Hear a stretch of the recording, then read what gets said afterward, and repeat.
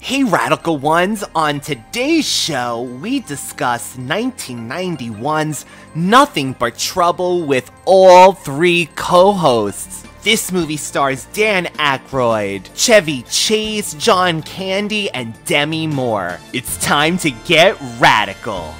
Hello there. It's showtime. What is this, trick or treat? Did I do that?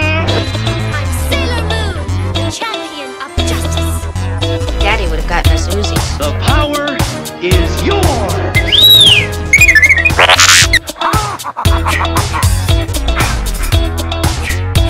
My name is Grace Jones. Thunder! Thunder! Thunder! Thundercats! Power of three will set us free. Power of three will set us free. Power of three will set us free.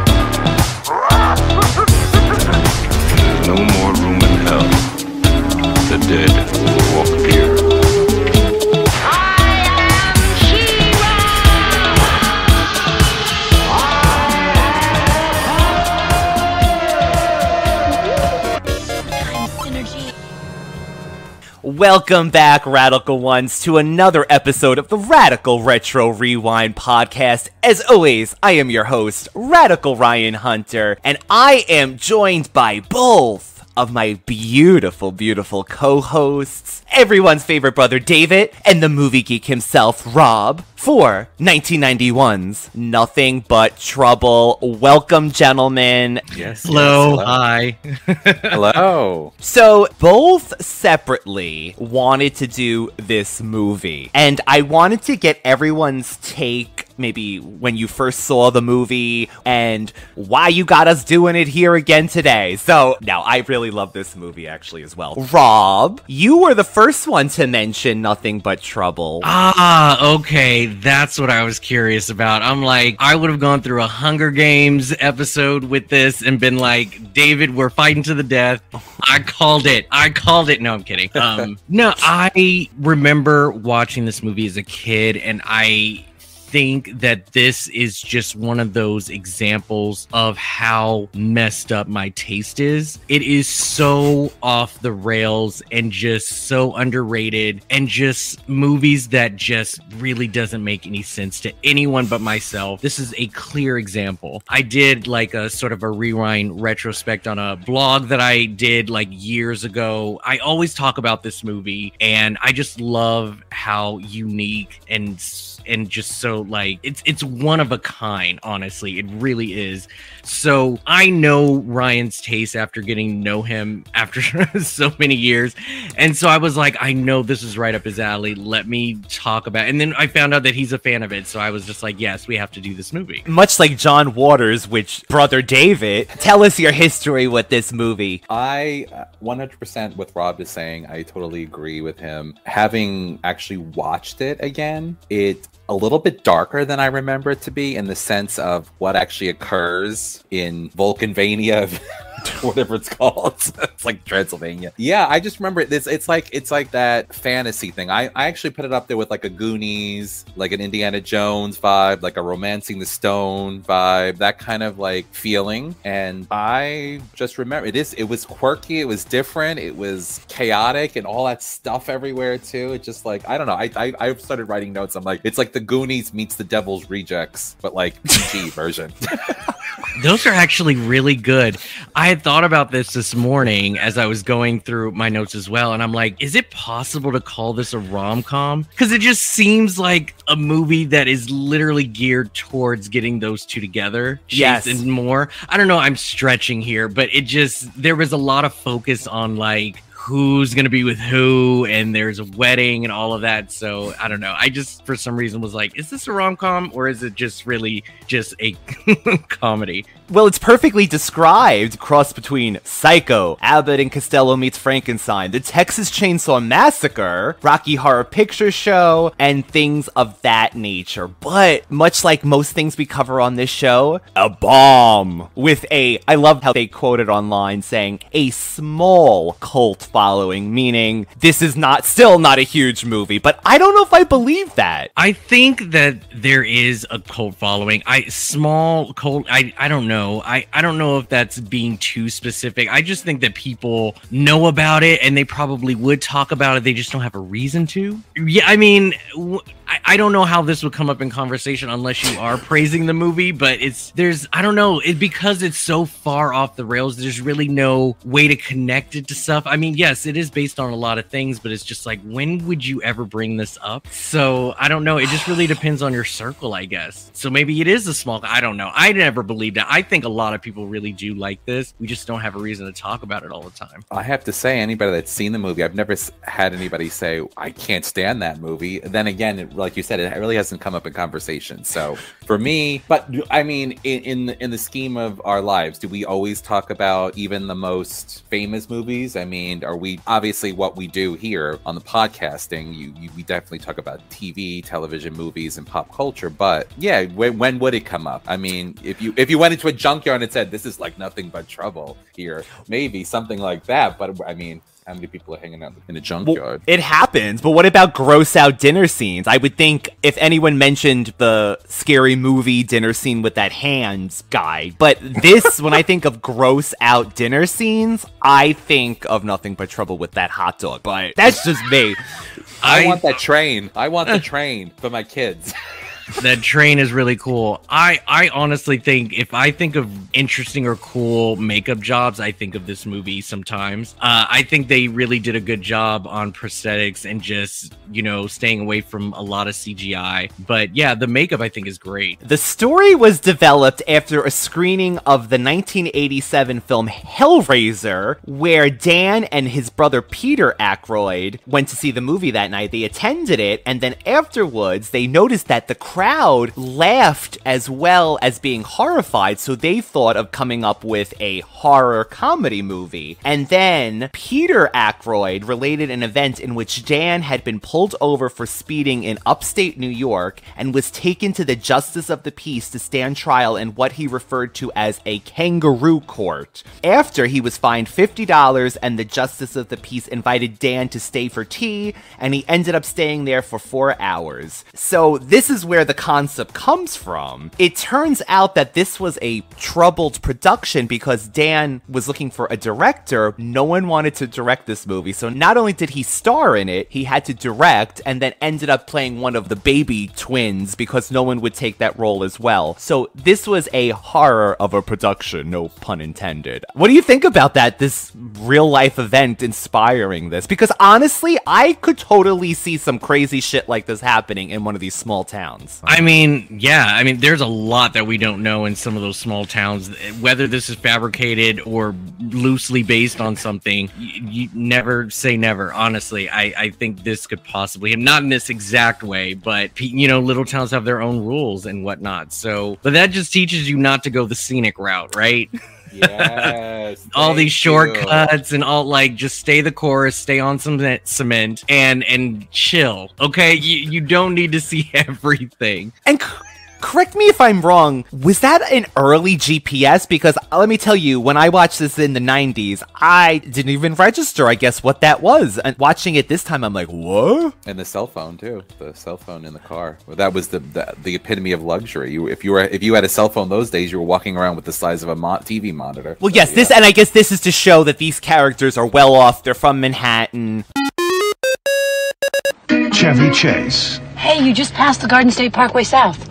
Don't worry, I'll get you there. Demi Moore, Oh no, cop. Driver, step outside the car, please.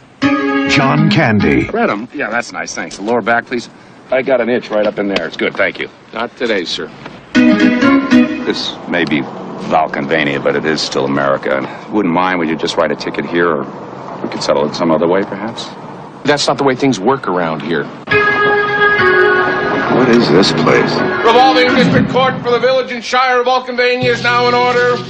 The Honorable Reeve Alvin Valkenheiser presides. Dan Aykroyd. Put out that dog rocket! Nothing but trouble. I'm So sorry. Hey, you know, you and I ought to spend a little more time together. I'd like that. Would you?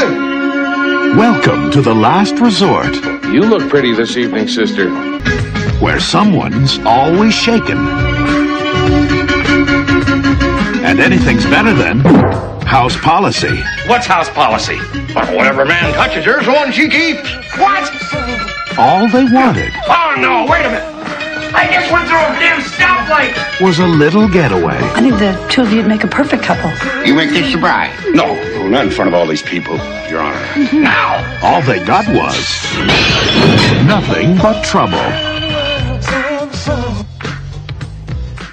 Ryan, tell everybody what this is about. I'm sure more, if not all of your audience has no idea what we're talking Yeah, about. I. Yeah, radical ones. My God. While hosting a party in a Manhattan penthouse, financial publisher Chris Thorne meets lawyer Diane Lightson and agrees to escort her to consult a client in Atlantic City the following day. To get laid. cons- Right, right, just for sex. Yes, just Was for, and wait it- a minute. I something I caught in the very beginning of this party. Not, of course, I'm going to go off one of my tangents. He invites her up to the party, offers her a drink, which I think was like scotch or something.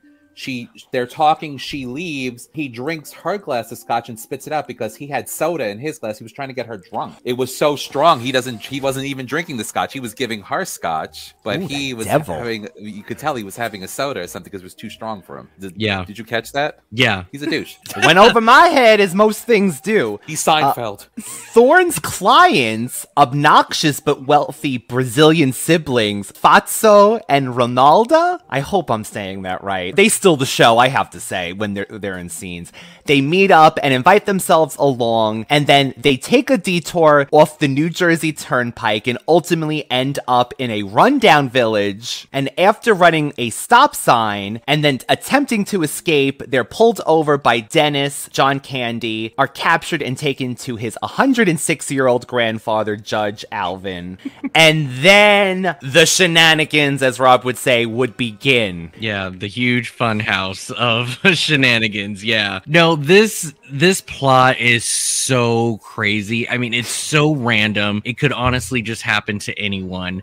But these yuppies are you know really show i mean honestly this is a movie that i think the 99% would appreciate because it's giving the 1% you know a run for their money like they are being punished for being so greedy and chauvinistic and all of this stuff because they just look down on the poor. You know, this town became what it became because all of these heavy corporations decided not to put any more money into it and let it die, especially when they were having trouble. And I want to say they stole oil from them too. So, like, they were a really good source for resources, but then left for dead. And so, any chance that this little town gets, it punishes those greedy white collar people who are like low key criminals. So, this is sort of like an Avengers like justice movie for the 99%. But yeah, like Chevy Chase, who plays Chris, like he is very, very racist. Uh, you know, like mocks In real life, too, actually, I believe Chevy Chase is playing himself in this movie because I gotta tell you, not to interrupt Rob, Chevy Chase was verbally abusive to members of the cast and crew and told Demi Moore her costume was too revealing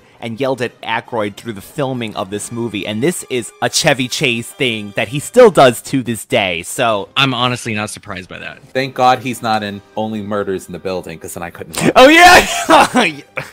Thank Only God. Bill. Murray. I have a feeling he'll guest star in season two. I I al- I can pretty much guarantee he's going to. Why wouldn't he? I mean, when was Don't the let last him time- abuse Selena. when was the last time they were all together? This is the perfect opportunity for that. Even though they didn't advertise them in the in the trailer, because there was a lot of great guest star like cameos in that trailer. But I have a feeling he'll pop up, even if a voice. I don't really, you know. It's too much of a coincidence not to have the three amigos there, but I have a note that I said Demi Moore getting out of the elevator was giving me Madonna Breathless Mahoney vibes from from Dick Tracy. Like I think she looked probably the best I've ever seen her. She looks fantastic in this movie. I cannot on believe. point, and that white suit just Yes. perfect, like uh, But is it a white suit? But it's like shorts. Well- it's like a short suit. It's cute. I I really like. I thought she looked great, but also her character was not a damsel per se. I mean, the movie kind of made her into one later on, but she is she she's a lawyer she's strong like she's independent but i love that she's like i'm a sucker for a pretty face I like. what about the part in the movie where she's like, "Save yourself, save yourself"? And, well, I don't care what I said before. Get your ass back here and save me. I thought honestly she was the most likable out of the characters because at least she knew not to be obnoxious to these people's face as Oh yeah, Chevy she Chase was at corrected him. least. And then there's oh my god, I the little parts with the with the brother and sister like in the car. Push it, push it, man, push it.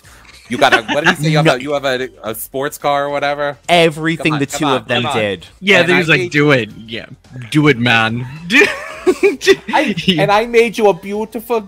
What did she, a picnic or whatever she made for the? I forgot that they get away. I was so happy because at one point I thought when they go into the moat later on that they ended up getting killed. I'm so glad that they they don't die because I would have loved to seen a spin-off with them and John Candy at the end. Oh, we did it! We did it, man. We did it! Color us into the Bahamas, man. We're going to the Bahamas. We're going to the Bahamas. That was nice, man. We did that. Hi, hi. Let's find the road. We hitchhiked to a truck. Okay, We hitchhiked to a truck. That is completely. Congratulations, folks. They jumped out of a two-story window. That's like, insane they have such ugly food. No, when they they threw the pickle at his sister and that was the miss. What was she the the no so she, previous? so she says so he says i will not have my sister who is the queen of the mardi gras sitting at a table with a pickle shooting tray yet they were not having it That's enough. I'm gonna flip out. Get behind me, baby. You people are sick, wicked, funky, misanthropic, codependent animals. And I won't have my sister, who was once the queen of the Mardi Gras, sitting at a table with a pickle shooting tray. He's right. We gotta go. we must go. She's like, we must we go. gotta go. Me and my cousin, so she's like two years younger than me. I would make her watch this, and we would quote this movie so much. And most of it came from these two because they were just so funny. They were so funny, and I love it. They didn't get invited. They weren't. She was like, "Ooh, a road trip. Who's going on a road trip?" And they were like, "Nope, nobody's going on a road trip." And they ambushed them in the parking lot. Like, I just think that's so genius. you didn't think that we would be up this early or something? had no said. idea. Yeah. And he refers to them as Brazilianaires. Is that what he refers to them as? Brazilianaires? Yeah. Oh my god! And when they escape and they say the lake is what did they say? It's toxic. It sounds like smells like San Paulo. Can we please give it up to John Candy in a dual role? Folks, I'd like to introduce my granddaughter, Eldona. She's single and the best Class A mechanic in five states. It's adorable, Judge. She'd make an ideal wife, too. Genuine wage earner and struck dumb at birth by a thunderclap. My kind of woman. You look pretty this evening, sister. Doing something different with your hair? I guess our hero at the end of the day, he plays Well, this. you know, he he was a a character that you know did the legacy of the family out of obligation. Like he grew out of that. He didn't agree with a lot of the, you know, decisions that the family came up with. I wouldn't say he's like disloyal. He just grew out of it. Like he just he was that one family member that wanted to see more. He didn't want to take over the family business or anything like that. He just wanted out. But him playing the mute twin sister is legendary. I wanted to ask you about this. I don't know if it's just the decades that have come from the 90s up until now, but the 80s and 90s, men were not afraid to dress up as women for the sake of comedy. Not now. I think it's starting to kind of come back, but in between, there was just this time period where it was unheard of or like people wouldn't take parts like this and not make such a big deal out of it. Somebody like John Candy can dress up as a woman and nobody will bat an eye. And then sort of in the early 2000s, it just became this like, you know, taboo thing. Like, what do you think about all of that? Just them cross dressing and like the meaning behind it, or, or it didn't have to mean anything at all. I honestly feel like in the 80s, like gay culture was there, but it wasn't mainstream.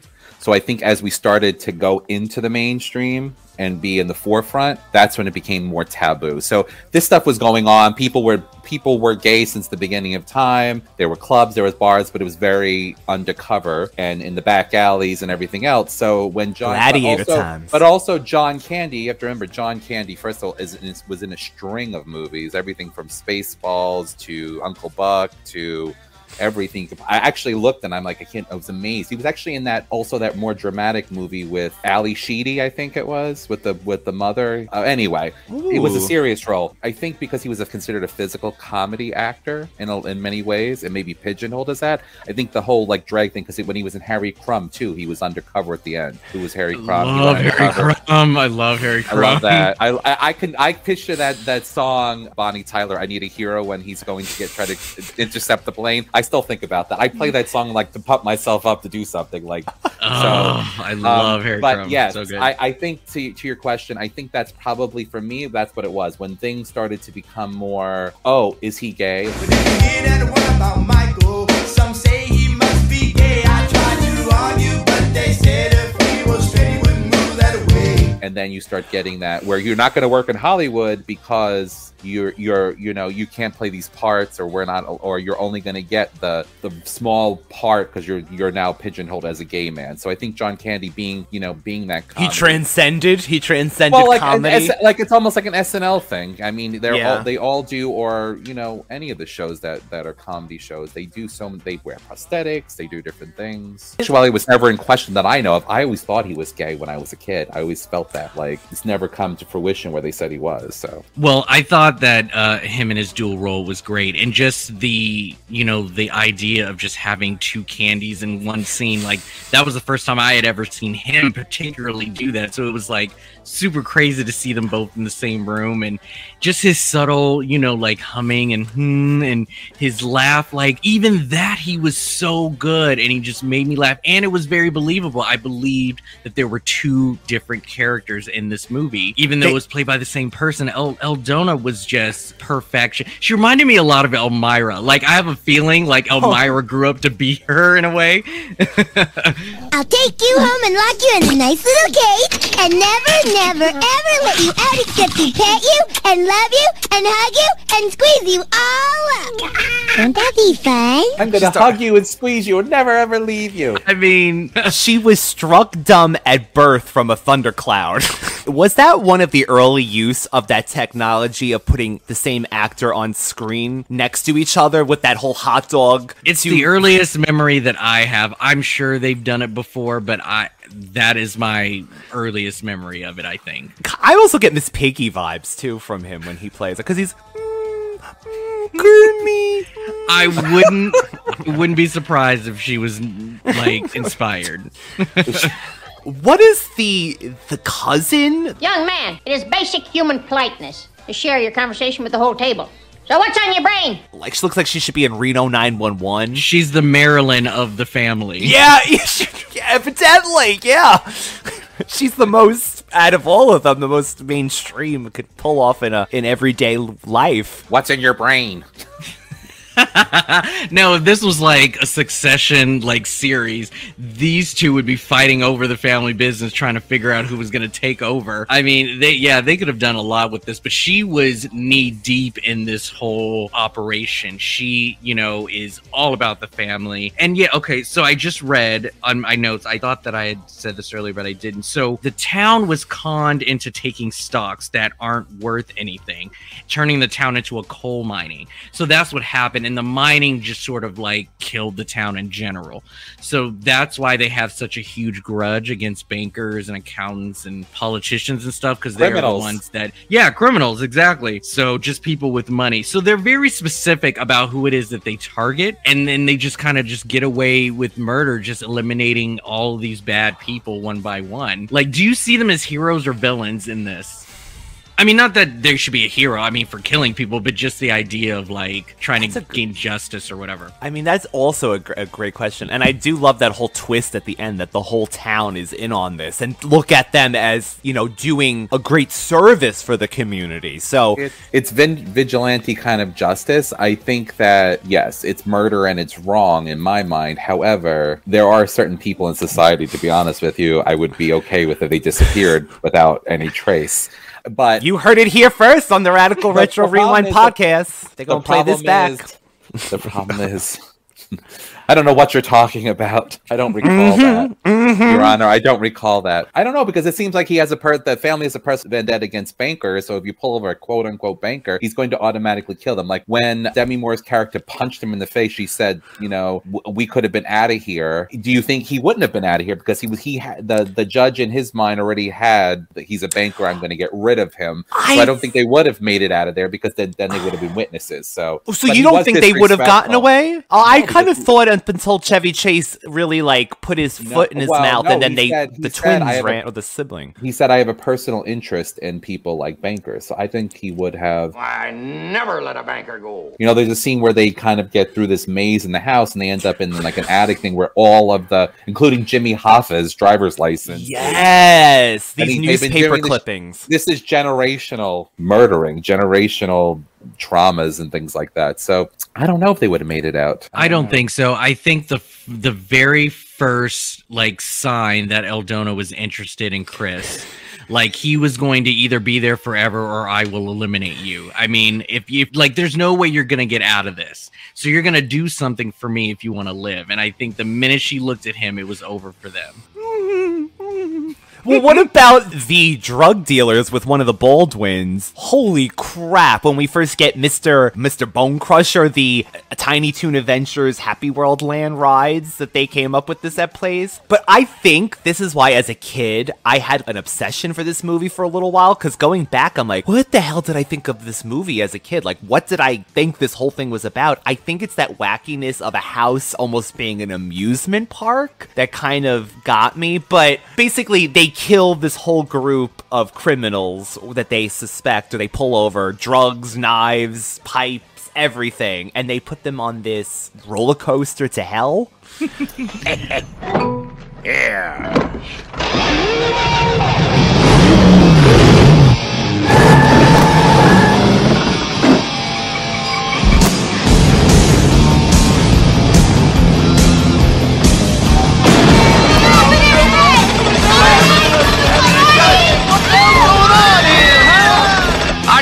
There, I'll give you all your coke and your grinders and spoons and pots and guns and knives and all that back to you when you come out the other end.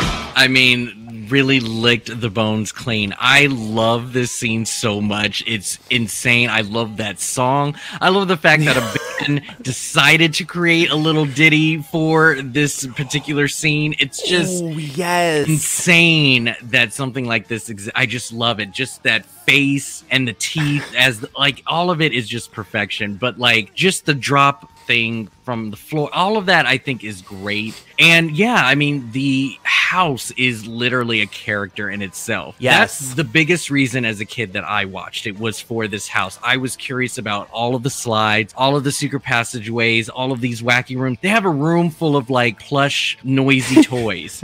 Just that's it. They just I, I don't- you don't know where you get them. It's not like every banker has one in their car, and so they just collect them. Like they made a room just for the squeakiness of insane, insane. But there's also that piped in Disney World music when you get on the grounds, which I love on these old speakers, and they play this old timey kind of music. To, they're metal sculptures. Yeah, it's just cr- it's just so crazy. And yes, and Rob's right. He has like a Jabba the Hutt kind of like trap door in front of his courtroom. Were you gonna say something, David? I have a few things I want to add. One, I love the part when she's like, "Is that nose rubber?" One. Oh no! Oh Um, no! I think that that's a typical night out with Baldwin boys anyway. Drugging, drinking, partying, cocaine, you name it. So I don't think Does sound about different. right, honestly. I have little notes here, but when he's running out and he and the judge says she she has your taint on her now. that went right all over my head. Oh my god! Of course, your taint.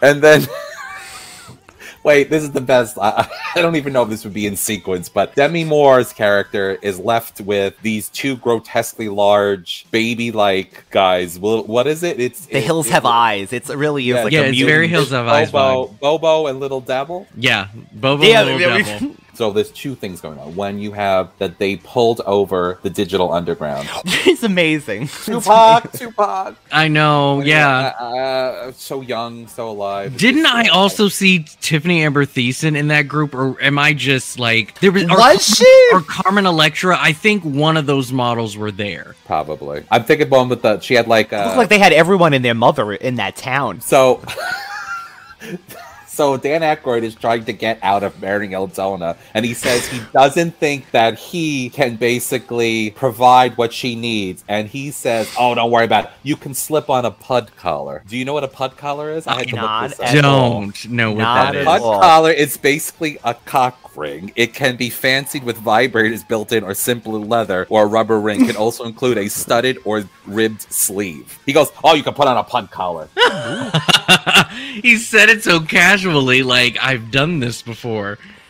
I, I still. David bringing that education. This is what oh. John Waters films gets to you. You see what happens? You start and then you end up here with pud collars. Yeah, and to the point where you said earlier about the characters, this definitely like for Eddie Murphy when he did multitude of characters or Coming to America. But yeah, Digital Underground. Can we just have a moment with that scene? Yeah.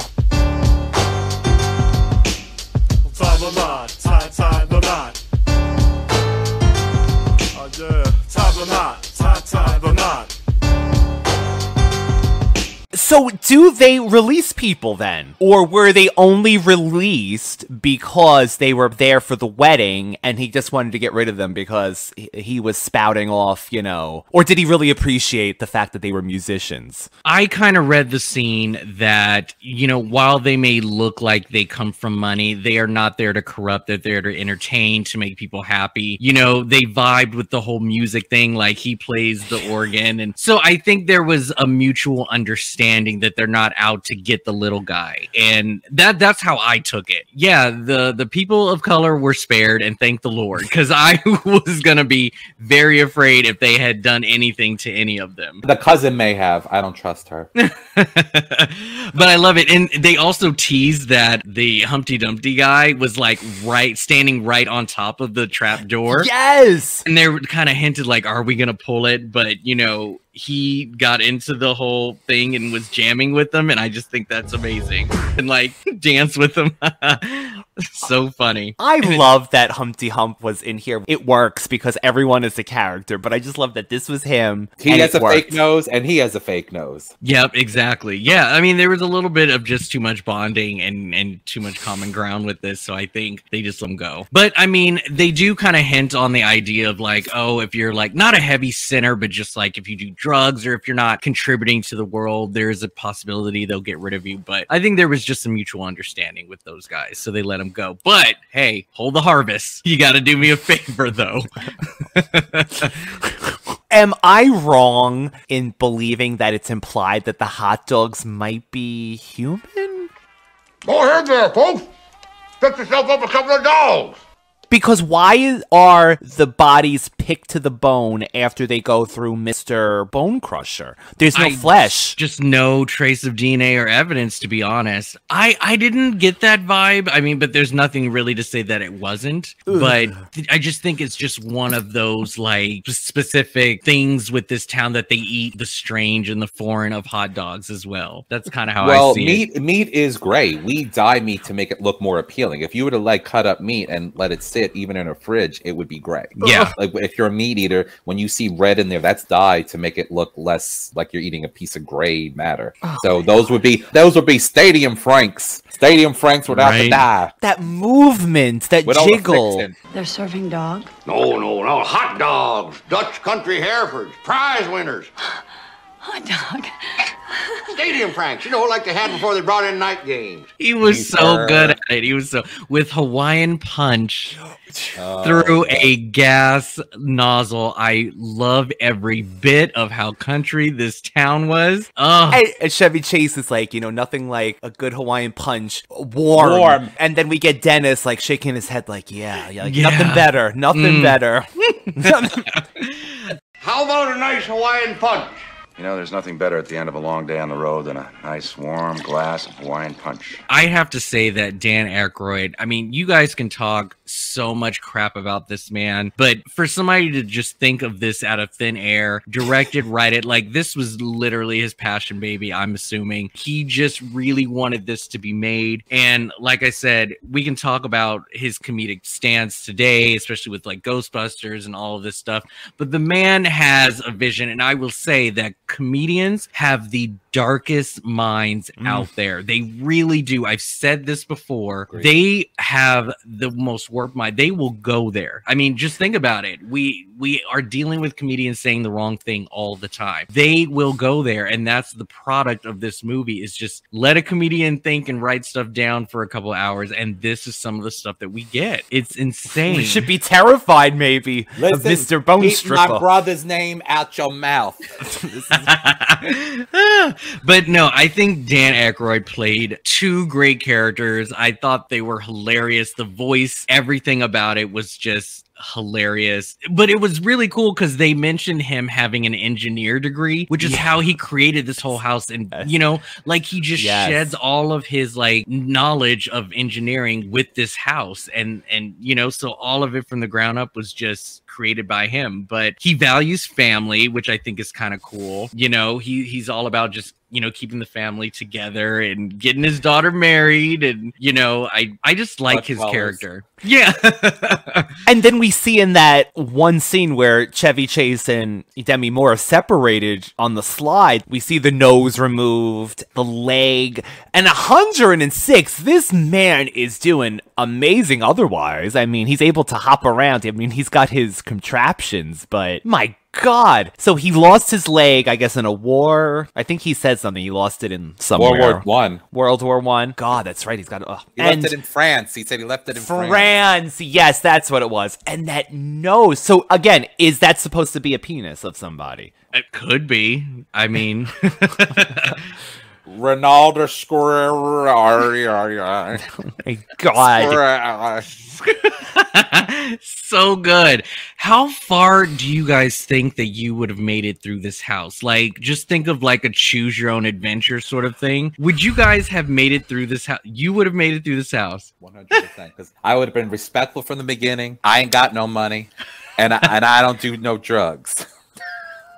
I know. Wait, I, could they have gotten out if they had just paid the fine? I can't remember because I know that he just respects him, and that's how they get dropped. But if they had just kind of just paid the fine, and I, I can't remember, they were about to be let go if they had just done what they were supposed to do. So Dennis was trying to advocate for them. He didn't Yeah. say that he's he was speeding because first of all, you would have been arrested immediately in any other place in time for going 90 in a little residential area in this small town. You would have and, and your license would have been revoked, car impounded, everything to begin with. But he tried to downplay, just said it was a stop sign incident where he passed a stop sign. Yeah. Because I don't think he wanted them to die. Like you said, he he kind of he has a conscience, even though he goes along with what he has to do. You know, it's like, oh, just let him pay the fine and get get him out of Yeah, here. he wants And him in and out kind of thing. Yeah, just I don't think so because I still think go back to anybody that's affluent or comes off with, especially And a banker. being snob, and he's a banker. I think that was it. I think it was either marry his granddaughter from the beginning, or it's it's it's over for you. And to the point with John Candy, did anyone notice that Dennis kind of disappears halfway through? I mean, I know he's playing the dual character, but it almost seems like that character. He's packing. Yeah, I think he's in his room. He's kind of retired. He's off shift, and then all of a sudden he hears a whole bunch of commotion and decides to help. It also reminded me a little bit of like Addams family when they had their little trap shoot slide outside of the house Yes. or whatnot. Um, I'd rather be at the Addams, though. Please, my God. Demi Moore when she shooted out of that like Shoot, the way she just spiraled out into the ground.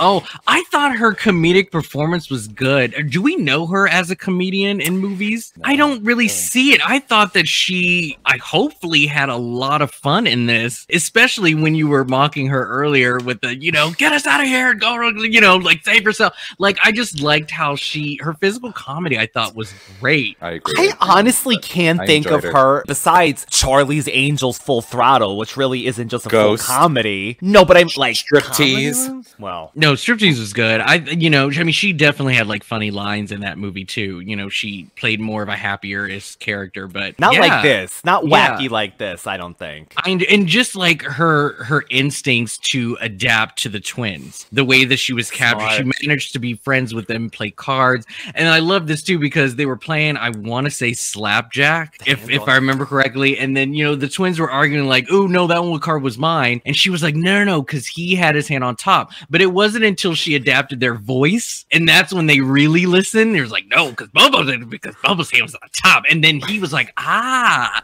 and I'm like, she's smart. She's smart about it, and so I, I liked her character in this one. Yeah, yeah, yeah, I know, I know. We won't lose you. Hi! I'm Bobo. That's Little Devil. Hi. We're not allowed in the house. Oh, oh is she okay? Her and the Brazilian siblings were the only two I wanted to get out. I mean, I guess Dennis too, but Chevy Chase, I'm sorry, he was just every time he just said something, I'm like, please just shut up if you want to save your life. You clearly see what this man is capable of, but you continue and you continue to push him and push him and push him. And like David mentioned earlier, that whole thing, like, get out, run, run, run, like that scene, I thought was it was great. The end is Chris and Diane got separated, like Rob said. She goes with the, the mutant babies outside. He's still he has to marry the the twin sister or whatever. He kind of escapes, and then they're gonna sacrifice her, right? Unless Chris comes, turn himself in, and they have this crushing machine, this watermelon crushing machine. It looks like it looks like it's it's pieced together from plows. Yes. Like, and then there's this thing where the judge is talking. He's like, "Save the girl, surprise yourself, you know, man up, kind of. You come get her, you know.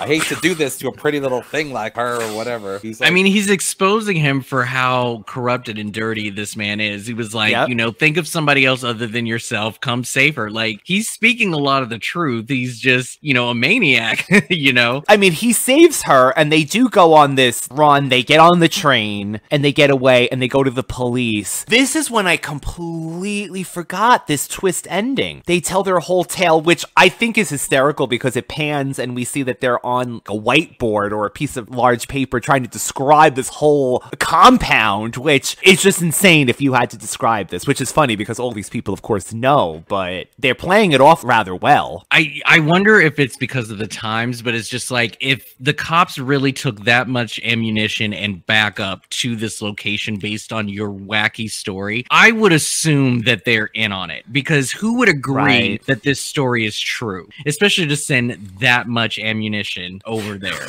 I would have suspected something dirty right off the bat. There's no way people are going to believe me. I wouldn't have even went. I, I've never seen a police officer say, "Go back to the scene of the crime and grab the person." No. Yeah, That- like that you don't need us to identify. It's totally you can go on your own, right?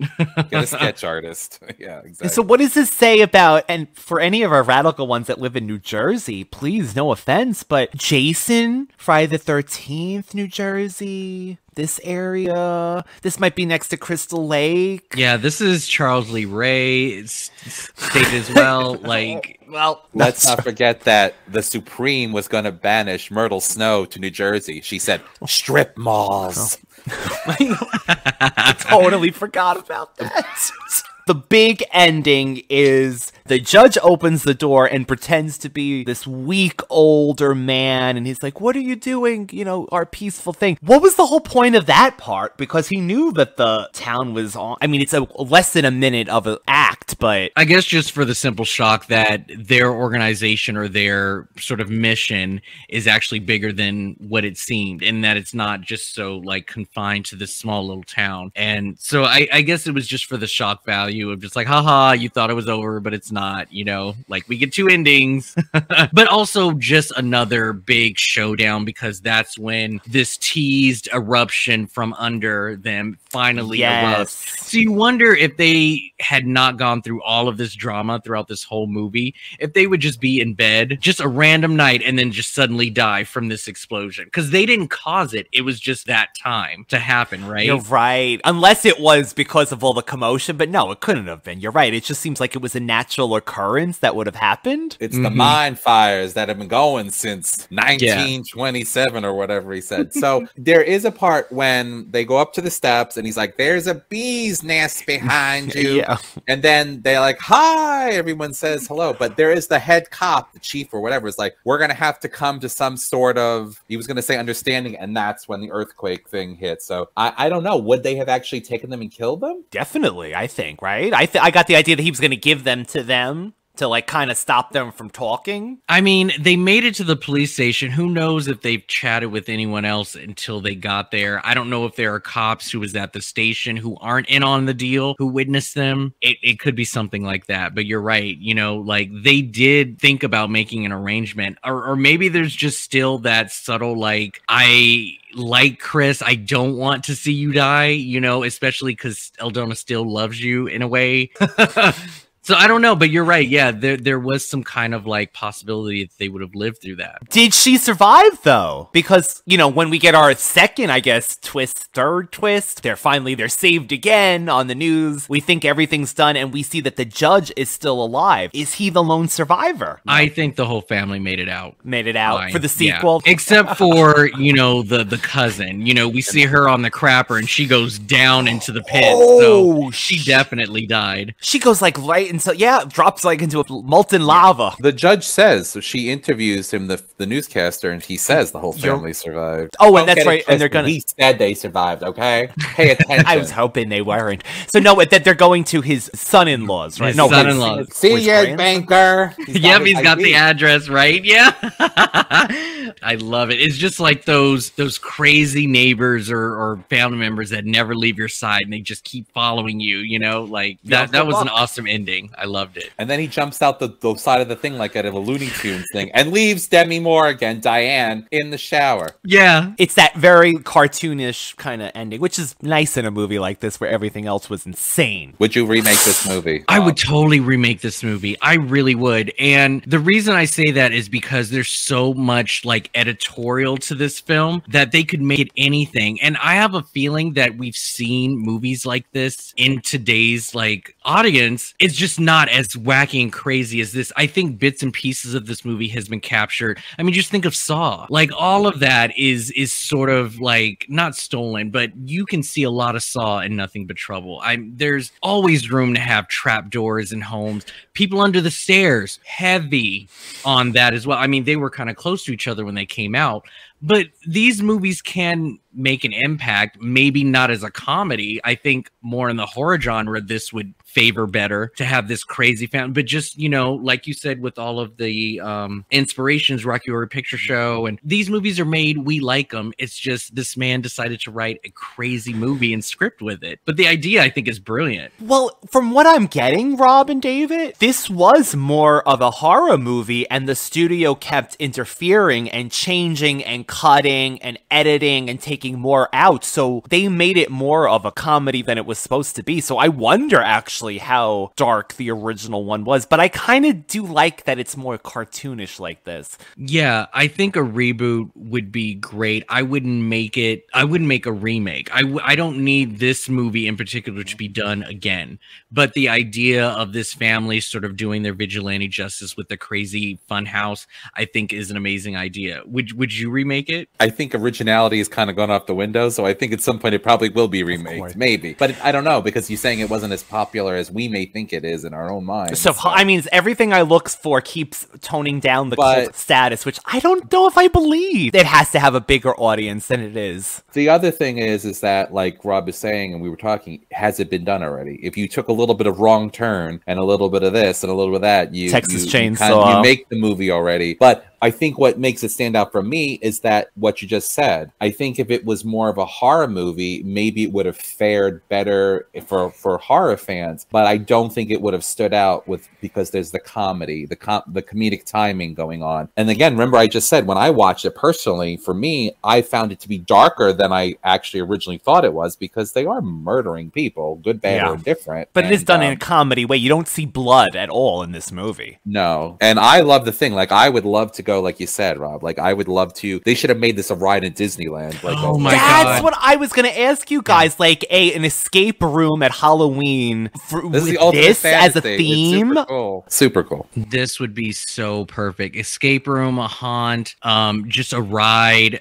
like visually just replicating this house to walk. I just think there's so the junkyard in itself with Yep. it being a maze. I just there's so many creative things in this movie. But again, when you pair with a script that just doesn't really appeal to most audiences, that it's just gonna flop. Granted that it did not make much money when it came out, I think that the movie was made at a perfect time. These types of movies just don't fare well unless it's like heavy, heavy raunchy. I mean, granted, this movie was killing people and it was done a lot of crazy things, but there wasn't a lot of cursing. There wasn't a lot of sex involved. There wasn't, you know, I think the movie would have to go there in order for people to pay attention. You can't just have a funny, dark comedy nowadays. In my opinion, there has to be some overlying, like, heavy message to it to take it out, you know, out of its comedic and then turn a little bit more serious. It came out at the perfect time, I think, if this movie was going to get made. So I'm happy it exists. So my last question to you, gentlemen, is: At that dinner, would you have eaten the ants on a log Not or the? bite.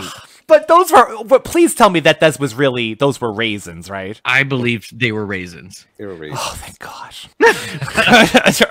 I wouldn't touch one thing. I would be scared to even drink from the glasses that they use. The house just Ugh. looked unsanitary. I, you know, I just don't trust it. People are used to their own environment, and then you walk into somebody's house and be like, "How do you live?" And it's, it's it, that's just how it is. They're used to their environment, so they see nothing wrong with how dirty or clean it is or cluttered. I wouldn't touch a thing. I would starve, and it's rude, but I don't care. You'd have to kill me. That's when I would die. When I refuse the food and they put me in a cage to rot. Like honestly, done. Couldn't I was it. just gonna say, like, I don't think I would be able to do it either. But that mustard pump was the thing that really got me when it stopped and it was all crusty.